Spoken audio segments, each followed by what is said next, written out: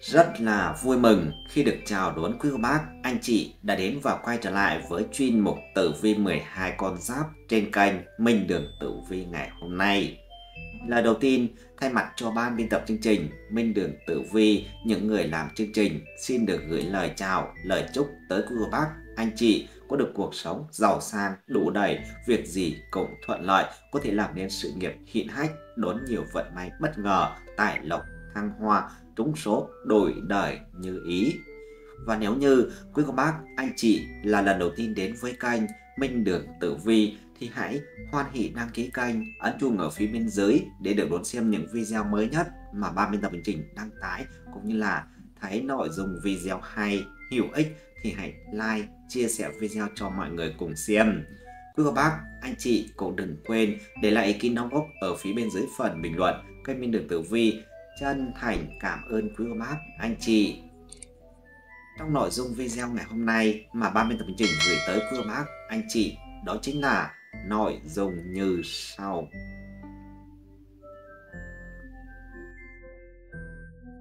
Chấn động, tiên tri chính xác 100%, tuổi Quý Mão sinh năm 1963, có 7 dấu hiệu này, được Phật trời che chở hộ trì, đón vận may liên tiếp, trúng số độc đắc, tiền vàng nhét chật két. Quý vị thân mến, trên hành trình cuộc sống, luôn có hoa hồng, chen lẫn với sự trông gai, hoa hồng thì thơm và đẹp, gai góc làm ta đau. Không có cuộc sống của bất kỳ ai, là chỉ toàn tiếng cười và cũng chẳng có cuộc sống của ai, chỉ toàn là tiếng than khóc. Bạn có biết rằng, nếu bạn có thực phẩm để ăn, đủ quần áo để mặc, có nhà để che mưa, che nắng, thì bạn đã sướng hơn 75% người trên thế giới này. Nếu bạn có đủ tiền để tiêu, có tiền để làm từ thiện, có tiền gửi trong ngân hàng, thì bạn đã thuộc về 8% người giàu trên thế giới này. Nếu bạn thức dậy vào buổi sáng và cảm thấy khỏe hơn ngày hôm qua, thì đã may mắn hơn một triệu người sẽ không thể sống sót vượt qua tuần này. Nếu bạn chưa bao giờ trải qua chiến tranh, hay đau khổ, hay tù tội, thì bạn đã hạnh phúc hơn 500 triệu người trên thế giới này. Và nếu bạn không có của cải hay tài sản gì cả, nhưng bạn vẫn có một thân hình lành lặn, với đầy đủ nhận thức, thì bạn đã may mắn hơn hàng triệu người khác trên thế giới này.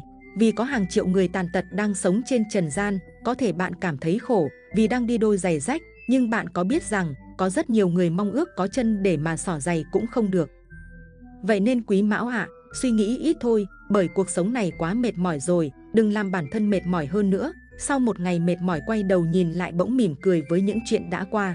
Thôi kể đi, nghĩ mọi chuyện thoáng ra chút cho trái tim ấm áp, cho tâm tư rộng mở, thở và cười, an yên trong tĩnh lặng, gác lại những âu lo. Và khi xem tử vi tuổi Quý Mão, sinh năm 1963, khi có 7 dấu hiệu là người có căn lành được Phật trời che chở hộ trì, gặp vận may bất ngờ, vận số cực đỏ, nếu chú ý điều này sẽ đổi đời giàu to. Vậy vận trình của con giáp này sẽ diễn biến ra sao? May mắn đến với bạn là gì? Hãy cùng chiêm nghiệm ngay sau đây. Thần tài chỉ đích danh Quý Mão, sinh năm 1963, số đỏ rực trời, tiền đè ngạt thở, giàu có tột đỉnh khi có 7 dấu hiệu là người có căn lành được Phật trời che chở hộ trì. Trước tiên, mời quý vị hãy chú ý theo dõi bố cục của lá số tử vi dành cho tuổi Quý Mão, sinh năm 1963, khi có 7 dấu hiệu là người có căn lành được Phật trời che chở hộ trì. 1. Tổng quan tính cách tuổi Quý Mão sinh năm 1963. 2. Chi tiết về bốn phương diện, sự nghiệp, tài lộc, gia đạo, sức khỏe, Tuổi Quý Mão khi có 7 dấu hiệu là người có căn lành được Phật trời che chở hộ trì. 3. Tài vận của Quý Mão theo từng tuần trong tháng 6 âm lịch khi có 7 dấu hiệu là người có căn lành được Phật trời che chở hộ trì. Vâng thưa quý vị và các bạn, trong cuộc sống chúng ta không thiếu những thử thách, khó khăn, đòi hỏi bạn phải có bản lĩnh, mạnh mẽ để đối mặt.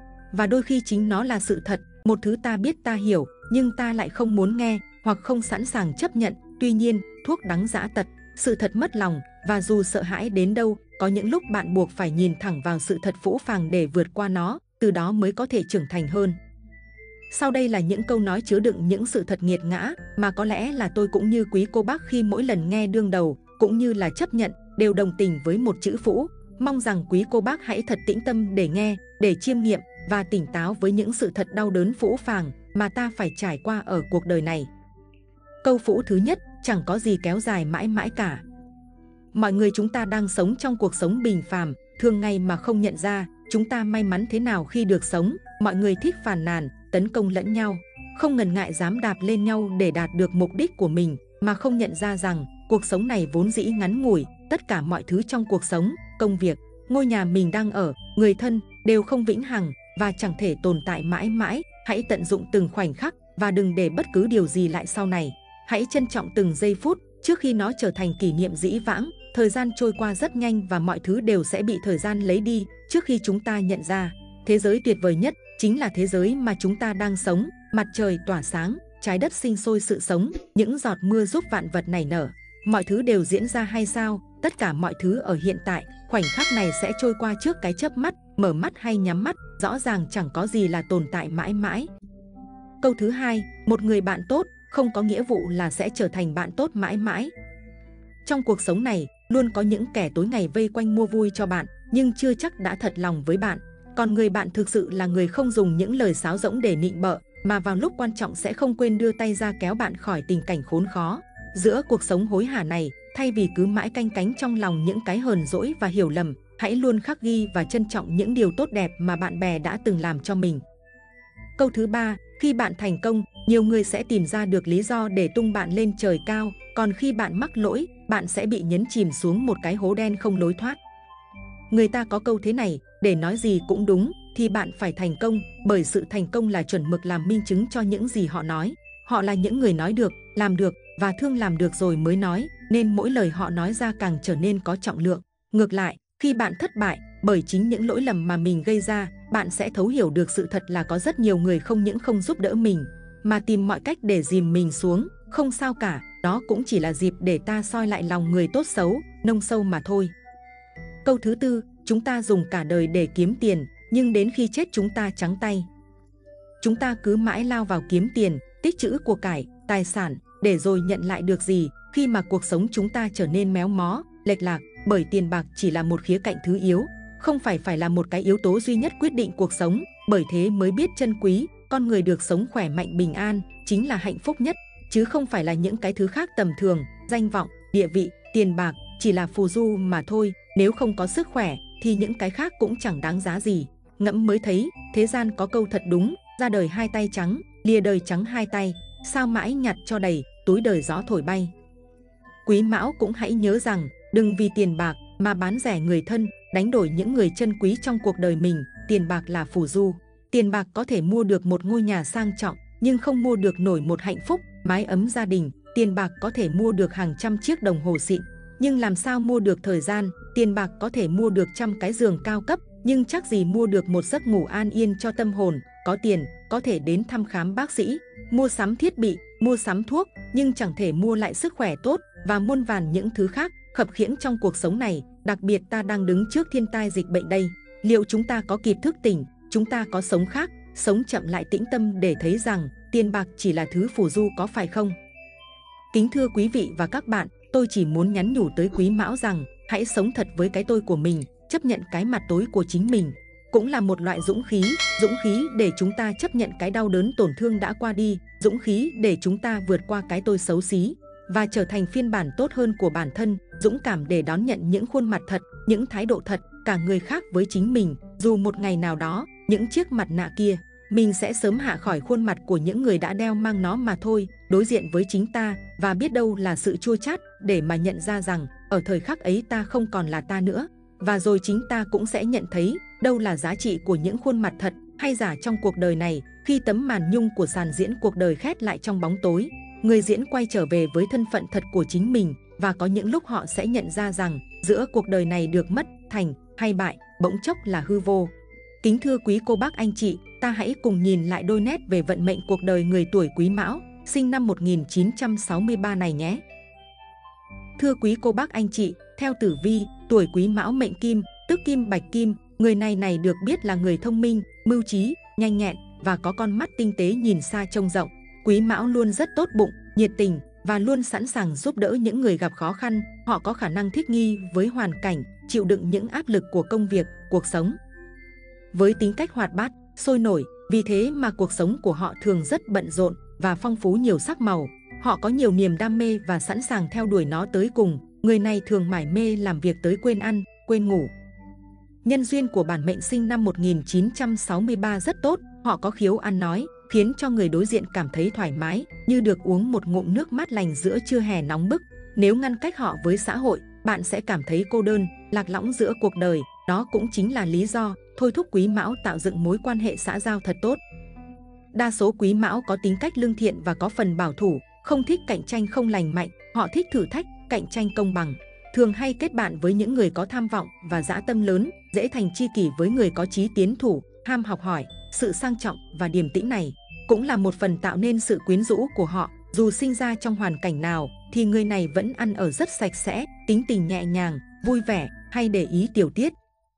Cả đàn ông và phụ nữ quý mão đều có tính cách bình tĩnh, không sợ hãi khi gặp vấn đề, họ đều có trái tim nhân hậu và phong cách hào hiệp, họ là người không bao giờ chủ động khiêu khích và gây chiến với người khác.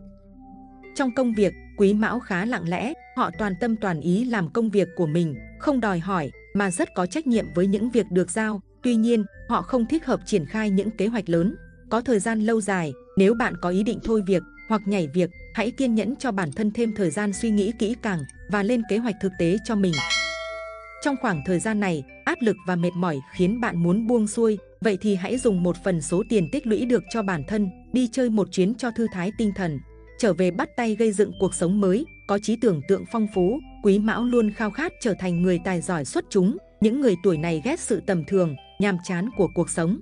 Trong tình yêu họ cũng tỏ rõ cá tính của mình. Những chú mèo này luôn hết lòng về tình yêu của mình. Không yêu thì thôi, đã yêu thì họ nguyện chết đi. Sống lại với tình cảm của mình, nhiệt tình như lửa, không cần biết đến cảm xúc của đối phương, nên đôi khi bạn lại trở nên mù quáng trong tình yêu. Tuy nhiên, cũng chính nhờ sự nhiệt tình và chủ động mà đã nhắm tới ai, thì đa phần họ đều theo đuổi được. Nam hay nữ đều như vậy, đây cũng được coi là điểm cuốn hút hấp dẫn của họ đối với người khác giới. Theo tử vi, vận mệnh quý mão khá có duyên với tài lộc, thường hay có được vận may tài lộc đầy nhà, song người này nên cực kỳ cẩn trọng, bởi tiền bạc có nhiều trong tay, nhưng bất cứ lúc nào cũng có thể có chuyện bất chắc xảy ra, khiến phá tài hao của. Tử vi khuyên bạn nên hạn chế tiếp xúc với lĩnh vực đầu tư, tuyệt đối tránh xa cờ bạc, vay nặng lãi, nên thắt chặt chi tiêu, tránh những cuộc vui chơi xa đọa không cần thiết. Nữ mạng quý mão là những cô nàng dịu dàng, ưa nhìn, họ phóng thoáng, rộng lượng với bạn bè và những người thân xung quanh, có con mắt khá tinh tế và sắc sảo. Họ có thể hiểu thấu được những suy nghĩ thầm kín của người khác, bởi vậy, họ luôn là người vợ đảm đang, là cánh tay phải đắc lực cho chồng của mình khi cần thiết. Đặc biệt, trong đời sống hôn nhân, nữ mạng quý mão biết nhường nhịn, bao dung và tha thứ, đây chính là nền tảng cho một mối quan hệ lâu dài. Nam mạng quý mão, tuy bên ngoài lạnh lùng, mạnh mẽ, nhưng thực ra họ cũng yếu đuối và nhạy cảm. Họ thấu hiểu với cuộc sống của những con người nghèo khó, bất hạnh và luôn tìm cách giúp đỡ những người gặp khó khăn. Anh chàng này khá hiền lành, không thích đấu khẩu, gây sự với bất kỳ ai. Trong giới hạn có thể, người này biết nhẫn nhịn khi cần thiết, với sự ân cần dịu dàng của mình, anh chàng quý mão được nhiều cô nàng để ý. Tuy nhiên, nam mạng sẽ chỉ hướng về một người duy nhất, trung thủy với mối tình của mình. Khi đã lập gia đình, những người đàn ông tuổi quý mão sẽ vẫn giữ thái độ dịu dàng, ân cần với những người thân xung quanh, họ sẽ không bao giờ để vợ con và những người thân trong gia đình phải chịu thiệt thòi, thiếu thốn. Và theo tử vi khi khi có 7 dấu hiệu là người có căn lành được Phật trời che chở hộ trì, tuổi quý mão sẽ đón nhận những vận may nào và những điểm hung bạn cần tránh là gì, hãy cùng chiêm nghiệm ngay sau đây. Xét theo thiên can Thiên can của tuổi là quý, gặp năm 2024 có thiên can giáp quan hệ bình hòa, xem tử vi, cho thấy trong thời gian này, công việc kinh doanh, làm ăn của chủ mệnh không kỳ vọng có sự khởi sắc, nhiều khả năng không được kết quả như mong muốn. Xét về địa chi, địa chi mão của tuổi gặp địa chi thìn của năm lục hợp, xem tử vi tuổi quý mão cho thấy công việc đều có những chiến lược và cái nhìn xuyên suốt các sự việc. Các công việc trong tháng tiến hành đều được hanh thông, sự nghiệp cơ bản bền vững, tài chính ổn định, công việc kinh doanh làm ăn theo hướng mới được như ý muốn.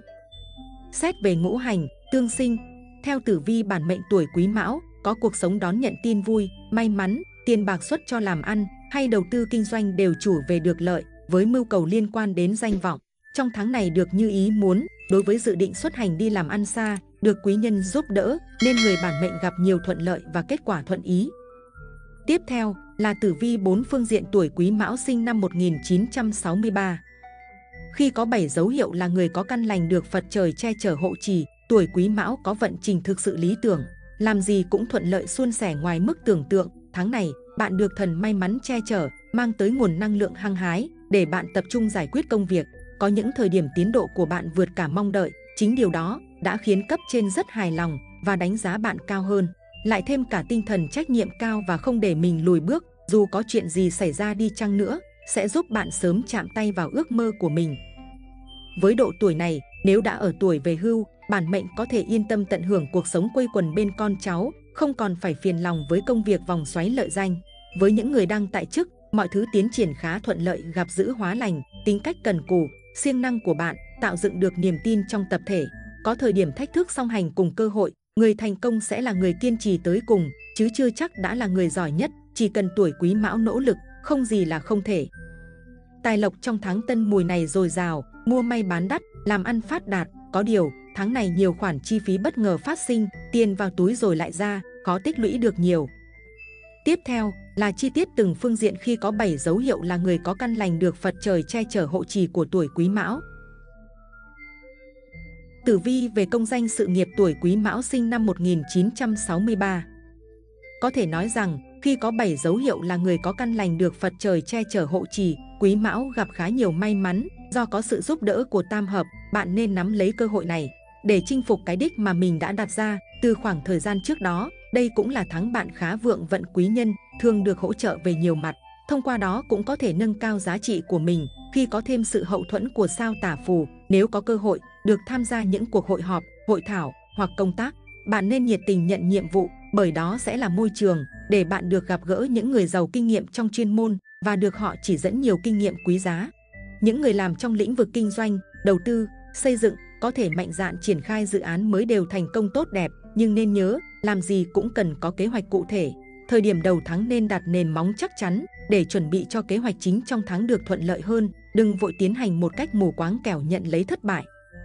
Đối với những người làm công ăn lương, công việc của họ vẫn suôn sẻ, thu nhập ổn định như các tháng, nhưng có thể họ sẽ có thêm một khoản tiền thưởng vào cuối tháng. Nếu đang muốn thực hiện việc gì đó quan trọng, thì quý mão có thể chọn thời điểm này để tiến hành. Tuy nhiên, khó khăn là không tránh khỏi trên con đường đi đến thành công. Song bạn cũng không cần phải quá lo lắng, mỗi khi gặp phải vấn đề khó giải quyết, bạn bè, đồng nghiệp sẽ luôn xuất hiện kịp thời, giúp bạn hóa giải nguy cơ. Về tài lộc Về vận trình tài chính có thể khẳng định rằng may mắn sẽ mỉm cười với bạn trong thời gian sắp tới, bạn sẽ nảy ra nhiều ý tưởng kiếm tiền hay ho giúp bạn chinh phục kế hoạch đã đề ra từ trước đó. Những tháng trước đó có thể có nhiều khó khăn ngăn trở và có lúc họ tưởng như đã muốn bỏ cuộc. Tuy nhiên, khi bước sang những tháng tới đây, tài lộc của quý mão sẽ khá vượng, nhớ chuẩn bị để được đổi vận do được các vị thần may mắn ghé thăm. Thời điểm này, cấp trên nhìn thấy được ưu thế của bạn, những người tuổi mão sẽ gặp gặp nhiều cơ hội để phát triển sự nghiệp, nhận được sự tín nhiệm của người khác. Với người làm công ăn lương, bạn đạt được nhiều thành công trong công việc, Nhờ thế mà mức đãi ngộ cũng cao hơn, chỉ cần bạn tập trung làm tốt việc của mình, thù lao nhận về sẽ vô cùng xứng đáng. Nếu có thời gian rảnh thì giúp đỡ mọi người, các mối quan hệ xã giao nhờ vậy cũng được cải thiện trông thấy. Bạn không còn phải đau đầu xử lý những rắc rối thị phi không đâu, tháng này sẽ mở ra nhiều cơ hội làm ăn, hợp tác đầu tư. Dù vậy, bạn cũng nên hết sức thận trọng, kẻo va chạm với tiểu nhân ganh ghét, hùn hạp nên chú ý trong khâu chọn người. Đừng quên hung tinh thiên cầu vẫn rình rập, có thể gây hại cho bạn bất cứ lúc nào, mua sắm nên có chừng mực để tránh tình trạng lạm chi. Về sức khỏe Thời tiết mùa hè, khô hanh nắng nóng, ảnh hưởng không nhỏ tới chất lượng không khí, khiến bạn thường xuyên rơi vào tình trạng khó thở. Hãy chú ý hơn tới sức khỏe của mình, ăn nhiều hoa quả để gia tăng sức đề kháng bạn nhé. Bạch hổ hung tinh mang điềm báo tai họa gây bất lợi cho sức khỏe của bản mệnh, khi đi đâu cũng ưu tiên các lựa chọn an toàn nhất cho bản thân. Không nên cố gắng tham gia các trò chơi mạo hiểm vì có nguy cơ xảy ra rủi ro cao. Trong thời gian này, khi sử dụng dao kéo cũng phải thận trọng tập trung. Nếu không dễ bị cắt vào tay, đi đâu cũng ăn nói khiêm tốn, nếu không dễ dẫn đến tranh cãi, vướng vào họa huyết quang. Về tình duyên gia đạo Ngũ hành tương sinh cho thấy đây là lúc để giảng hòa, gắn kết và yêu thương. Quý mão có thể tập trung vào lĩnh vực gia đình và cá nhân. Không chỉ chú ý đến các trách nhiệm và nghĩa vụ với người thân, bạn cần lưu ý đến các khác biệt trong quan điểm, lắng nghe mọi người thay vì cãi vã căng thẳng. Tuy nhiên tử vi cũng cho thấy về gia đạo của bạn có thể gặp buồn phiền về chuyện con cái không nghe lời. Bạn nên dành thời gian nhiều hơn cho gia đình, tâm sự chia sẻ với con cái để có tiếng nói chung. Quý vị thân mến, đã đến lúc ngừng nhìn về quá khứ và giải phóng tâm trí khỏi những suy nghĩ và cảm xúc tiêu cực đang kìm hãm chúng ta khỏi cuộc sống tốt hơn.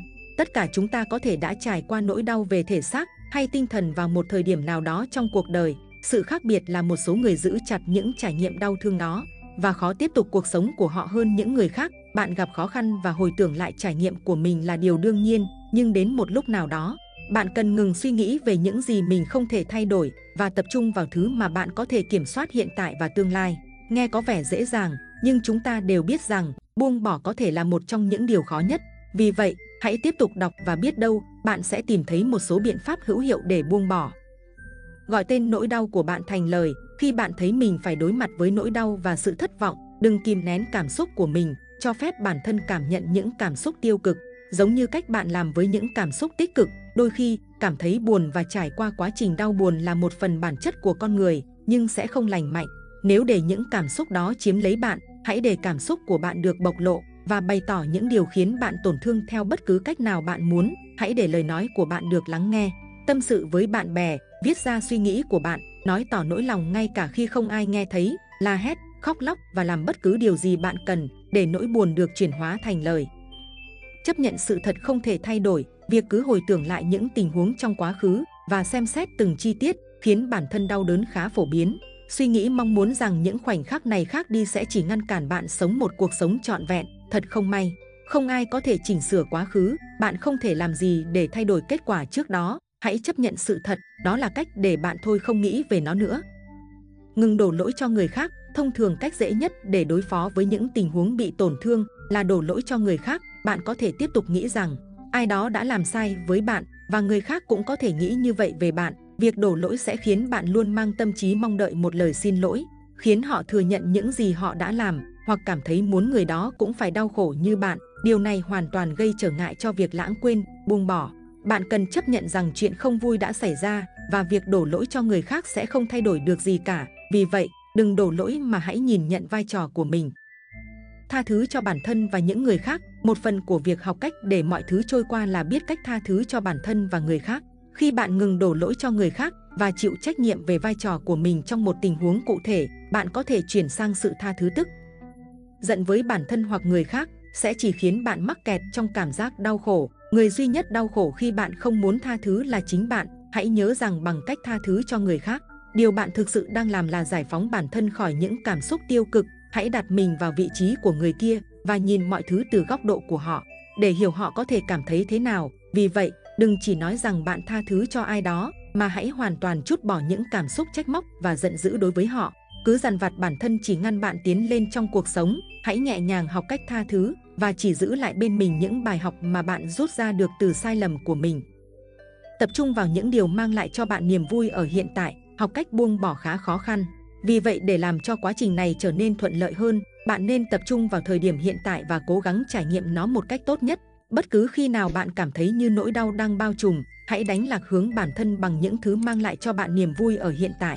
Gạt quá khứ lại phía sau bằng cách tập trung vào hiện tại và đây sẽ là không gian cho những trải nghiệm mới. Điều này sẽ giúp tâm trí bạn thoát khỏi tất cả những cảm xúc tiêu cực và tạo không gian cho bạn xây dựng những suy nghĩ mới để phát triển. Bạn sẽ sớm nhận ra rằng buông bỏ là lựa chọn tốt nhất mà bạn có thể làm. Còn bây giờ xin kính chào quý vị và hẹn gặp lại quý vị trong các video tiếp theo.